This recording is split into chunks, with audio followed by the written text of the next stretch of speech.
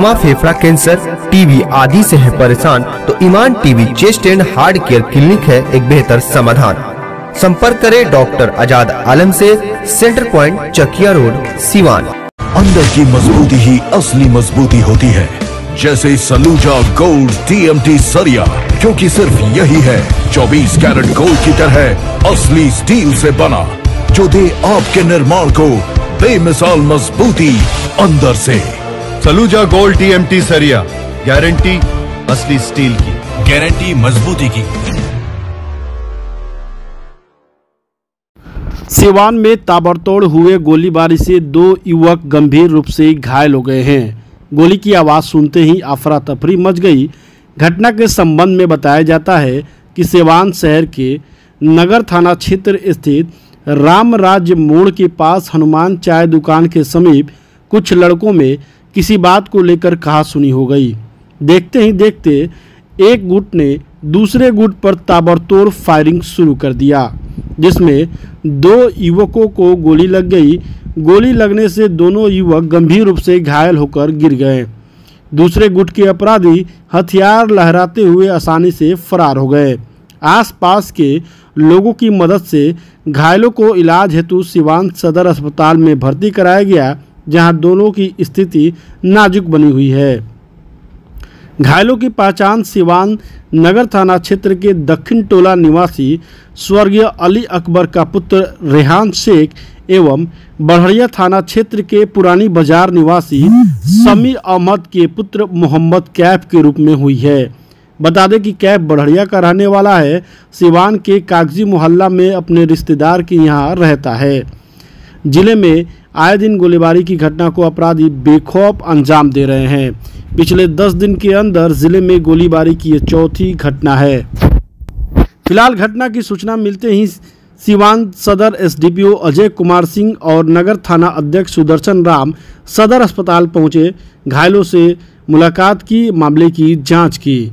तो बड़ी खबर आप बिहार न्यूज़ एक्सप्रेस पर देख रहे हैं, जहाँ सिवान में ताबड़तोड़ हुए गोलीबारी से दो युवक गंभीर रूप से घायल हो गए हैं। गोली की आवाज़ सुनते ही अफरा तफरी मच गई। घटना के संबंध में बताया जाता है कि सिवान शहर के नगर थाना क्षेत्र स्थित रामराज मोड़ के पास हनुमान चाय दुकान के समीप कुछ लड़कों में किसी बात को लेकर कहा सुनी हो गई। देखते ही देखते एक गुट ने दूसरे गुट पर ताबड़तोड़ फायरिंग शुरू कर दिया। जिसमें दो युवकों को गोली लग गई। गोली लगने से दोनों युवक गंभीर रूप से घायल होकर गिर गए। दूसरे गुट के अपराधी हथियार लहराते हुए आसानी से फरार हो गए। आसपास के लोगों की मदद से घायलों को इलाज हेतु सिवान सदर अस्पताल में भर्ती कराया गया, जहाँ दोनों की स्थिति नाजुक बनी हुई है। घायलों की पहचान सिवान नगर थाना क्षेत्र के दक्षिण टोला निवासी स्वर्गीय अली अकबर का पुत्र रेहान शेख एवं बढ़िया थाना क्षेत्र के पुरानी बाज़ार निवासी समी अहमद के पुत्र मोहम्मद कैफ के रूप में हुई है। बता दें कि कैफ बढ़िया का रहने वाला है। सिवान के कागज़ी मोहल्ला में अपने रिश्तेदार के यहाँ रहता है। ज़िले में आए दिन गोलीबारी की घटना को अपराधी बेखौफ अंजाम दे रहे हैं। पिछले दस दिन के अंदर ज़िले में गोलीबारी की ये चौथी घटना है। फ़िलहाल घटना की सूचना मिलते ही सिवान सदर एसडीपीओ अजय कुमार सिंह और नगर थाना अध्यक्ष सुदर्शन राम सदर अस्पताल पहुँचे। घायलों से मुलाकात की मामले की जाँच की। रामराज मोड़ के पास वहाँ से आया है सब गोली चला दिया कौन लोग थे भैया? संबाबू का लड़का था वो समीरवा जो गोली चलवाया है वो भी आखिर काहे लिए हुआ है? किस बात को लेकर किसी और लड़का का गाड़ी उड़ी कुछ दिया था सब वहाँ बैठे थे लोग आया सब डायरेक्ट गोली चलाना शुरू कर कितने लोग को गोली लगी है? दो लोग। आपका नाम? क्या फैम घर कहाँ है? बढ़िया घर रहते सिवाने हैं लड़के? सिवान झगड़ाओं पर रहते हैं। और एक आदमी जो लगा है? रेहान नाम है। रेहान। रेहान दक्षिण टोला है उसका। अच्छा दोनों आदमी आप लोग साथ में थे। हाँ। हैं? चार गोली चलाया ऐसे। कितना गोली आपको लगा है? एक गोली मेरे को लगा। हाँ। एक गोली उसको लगा। दो गोली हवा में उड़ाया सब पीठ पर फायर किया ऐसा।